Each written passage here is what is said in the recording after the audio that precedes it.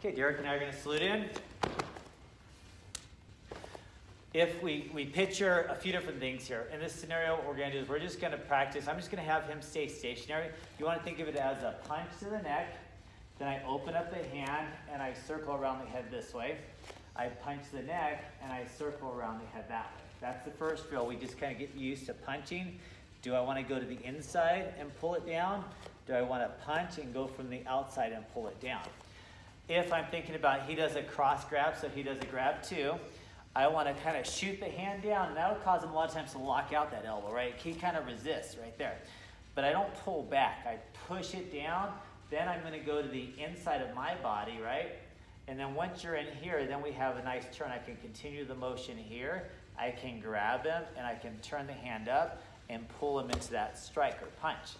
If he does the other hand, I punch down, that will give him resistance. So he's fighting me. If I push him this way, he's automatically going to create resistance this way, and typically he locks out his arm, right? So I, I don't, I don't want to fight him from here. So I don't pull back because that's what he wants me to do. I punch forward and I open up the hands. I'm going to the uh, inside of my body or the outside of him or her. And once I'm here, then I can grip it, turn the palm up, so that puts him in an awkward position. Now you're ready for goosenecks, You're, you're you're going for digits, the fingers and the thumb breaks, and then you can pull him in and do a strike or a kick or an elbow break or whatever. So let's just review that part. So I grab, well, first he, he's just going to punch my neck and go around right side or left side of the head. There's one way. He punches and goes around the other way. Good. He does the same thing on the other side. And really, we're kind of doing the same motion. Now we're going to do that same motion. So instead of punching my face, he's punching down toward the groin level. He's going to either go from inside outside or outside inside. Right now, we're just going to that break. So he punches down. He goes his inside, my outside. He pulls, turns my hand around, and there's the pull grab, right? You can add from here. We're just breaking down the first form of it. Then he grabs me again, but instead of me punching down and going to my inside, his outside, I'm going to go this way. So it's this direction here, and it's almost like this hand here is going to push, but it slides up the top part. But his position on his hands, there's no power in this grip. So I just have to pull up here and then there's multiple strikes from there. He goes here, punch down. Last time I went to my inside, which is this direction, his outside.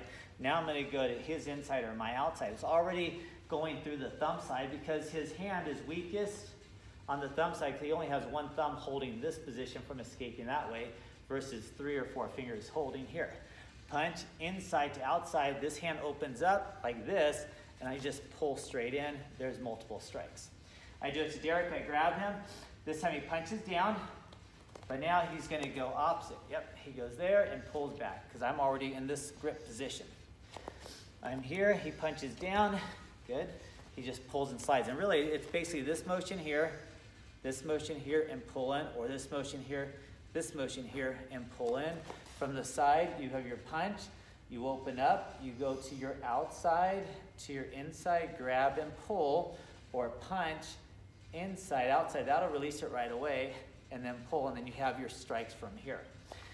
Um, nice part about that is if he grabs again, right? Let's just say I punch and I just bring it up to the outside.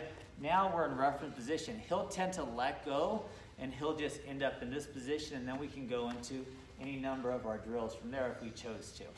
He grabs my wrist. If I want to build up into reference position, meaning I want to be on his backside, it's safer for me. All I need to do is do the inside to outside that's here, and he'll either let go or we'll continue the same drill, and I can do the same drills or he can do the same drills. So I grab him, he releases and goes in a reference position. So you punch, so punch the groin, and then rotate inside outside, and then do Pak Sao Diet Chui, got Sao up Sao, good, and we switch sides. Now I grabbed him, he punches down, he circles outside, inside, then we're in reference and he can pin, punch, grab, and do whatever drill we choose to do from there. So in the Mokjong, the wooden dummy, you might start with that low center, put your hand here as if they grabbed it, push down, come around to the top part of the outside Mokjong arm, and then go into your sequential drills from there. So a little bit of practice. You have to know the, the, the finishes to add it into it. But the idea is if you want to just practice by yourself, you're here, you punch, outside, inside, pull, punch either a diachichui or a ping chui or diachichui, either one, it doesn't matter right now. Open, outside, inside, palm up, which is the grab and back here. Punch, open, inside, and circular it here. So when you punch it here and you go to the inside, the elbow bends because the elbow bending adds that power. It adds more of an elbow rotation. And then you just bring it back to center. And then you can practice each one and practice those drills. Salute.